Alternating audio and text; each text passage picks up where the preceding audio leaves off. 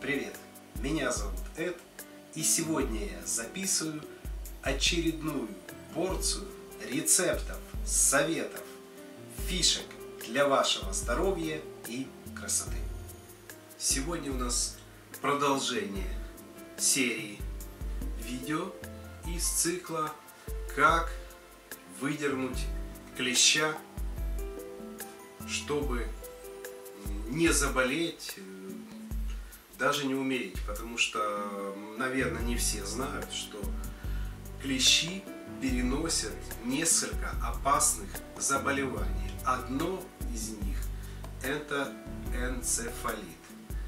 Недавно я прочитал в сети, что очень известная канадская певица Аврил Лавин, молодая абсолютно, ей всего 30 лет, заразилась этой очень-очень опасной болезнью и много лет страдала от нее. Хорошо, что она миллионерша и, возможно, очень быстро ей начали оказывать помощь. И эта помощь длилась несколько лет. Поэтому хорошо, если клещ просто вас укусил, там впустил яд без каких-либо болезней. Если же он заражен чем-то, это очень опасно. В общем, вернемся к тому, как безопасно извлечь клеща. В прошлом видео я рассказал о э, самом безопасном способе извлечь клеща. Э, способ был основан на, на, на том, что я вам рассказал. То есть берем вот такую вот такой шприц любой, обрезаем его и, не дотрагиваясь до клеща, пробуем, пробуем антидавлением, антидавлением, создающимся при движении порща, вынимаем, пробуем, чтобы это антидавление э, позволило клещу как бы выпрыгнуть назад в, в эту трубочку в принципе, это один из самых безопасных способов.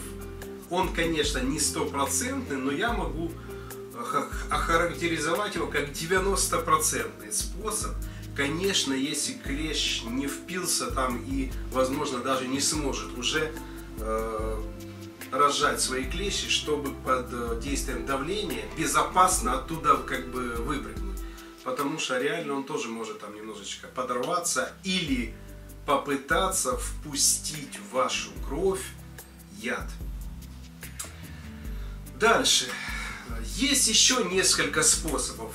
Я бы охарактеризовал их как сомнительные, но эти способы очень активно применяются нашими гражданами, так сказать. Еще один способ – я считаю, что, что он еще более малоэффективен, но им тоже очень часто пользуются. Э, ситуация та же самая. Способ этот заключается в чем?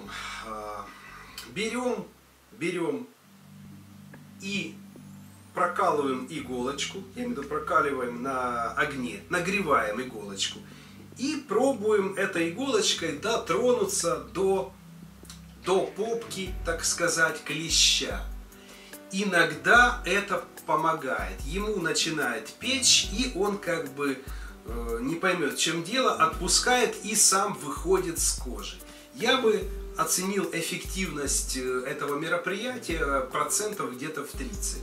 Конечно, есть, э, есть, так сказать, рекомендации, что вроде это иногда помогает, но не всегда. Так же само Э, клещ может испытать шок, он может сразу же впрыснуть яд вместе с болезнями, то есть не высасывать вашу кровь, а наоборот выпрыснуть в нее яды. Поэтому как способ, да, этот способ э, существует, им пользуются, но эффективность его небольшая. И об этом вы как бы должны знать. Спасибо за внимание, спасибо, что вы меня смотрите и смотрите мои рецепты дальше. Подписывайтесь, ставьте лайки, задавайте вопросы. Отвечу, каждому. До встречи на моем канале. Удачи вам всем и мир вашему